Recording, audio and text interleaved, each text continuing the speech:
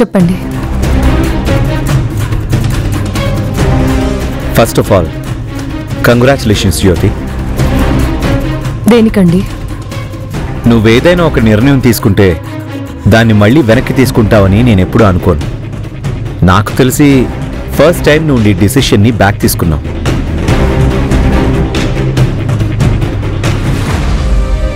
నువ్వు ఒక గొప్ప లాయర్ అవ్వాలని నేను ఒక రోజు అంటే అది ఎప్పటికీ జరగదన్నోగా?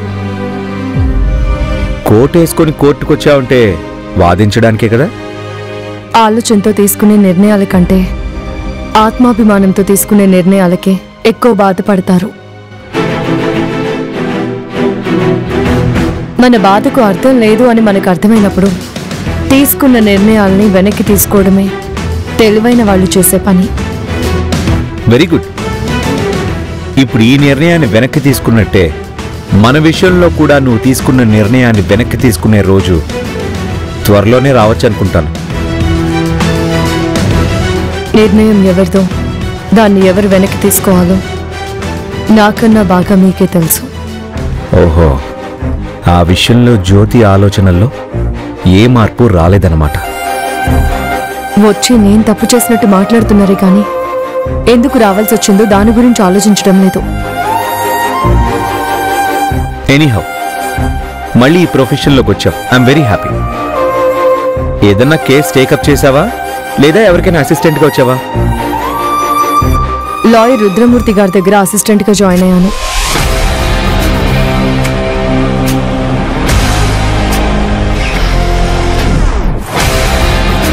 ఈరోజు కోర్టులో హీరింగ్ ఉన్న చక్రధర్ గారి కేసుని నేనే వాదించబోతున్నాను.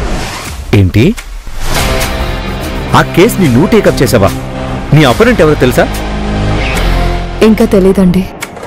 నీ అపోనెంట్ ఎవరో కాదు జ్యోతి. నేనే.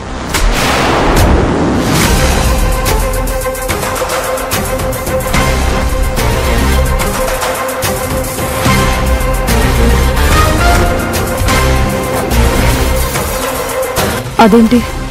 అపోనెంట్ లాయరు అశోక్ గారని చెప్పారే? ఆ కేసు ఇప్పుడు నేను టేకప్ చేశాను. నేనే అని ముందే తెలిస్తే ఈ కేసు వదిలేసేదానివా? పోనీ నేనేనని మీకు ముందే తెలిస్తే మీరే వదిలేసేవారా?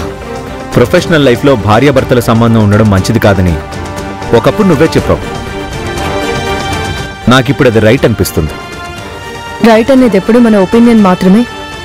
అది ఫైనల్ కాదు అని మీరు కూడా చెప్పారు కదా?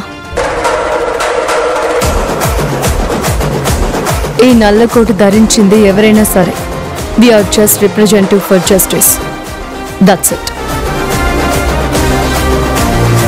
thanks for your clarity will meet again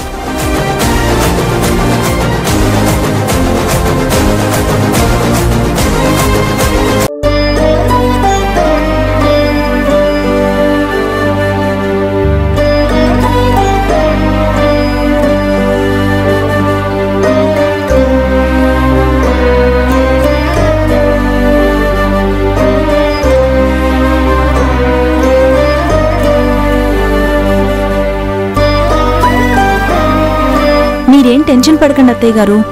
మావయ్య గారి ఆరోగ్యం ప్రస్తుతానికి బాగానే ఉంది. త్వరలోనే కోలుకుంటారు అన్నారుగా. అన్నట్టు అత్తయ్య గారు మీకు అసలు విషయం చెప్పడం మర్చిపోయాను. మేము హాస్పిటల్కి బయలుదేరినప్పుడు ఏంటి పెద్ద కోళ్ళ? ఇప్పుడు ఆ విషయం అవసరమా? ఏమైంది? ఏం లేదక్క. ఏం లేదంటావేంటిందు యామిని చెప్తుంటే నువ్వు ఆపుతావెందుకు? నువ్వు చెప్పు యామిని. అది జ్యోతి మన ఇంటికి వచ్చింది అత్తయ్య గారు. మీరు మావయ్య గారు తీసుకుని వెళ్ళారా? వెనకే మేము బయలుదేరాం. అప్పుడు గేట్ దగ్గర ఓ పక్కగా ఉన్నది ఎవరా అని చూస్తే జ్యోతియే. ఏం జ్యోతి ఎందుకొచ్చావని అడిగితే ముందు జీవన కోసం అంది. తల్లికి బిడ్డని దూరం చేస్తారా అని అనుకూడని మాటలన్నీ అనేసింది. నేను ఊరుకోకపోయేసరికి మావయ్య గారి కోసం వచ్చాను చూసి వెళ్ళిపోతాను అని ప్లేట్ మార్చేసింది. ఆయన లేరు హాస్పిటల్కి వెళ్ళారు అని చెప్పాం అత్తయ్య గారు. జ్యోతి హాస్పిటల్కి కూడా వచ్చింది. తను చేసిన తప్పుకి కొంచెం కూడా బాధ లేదు తనకి.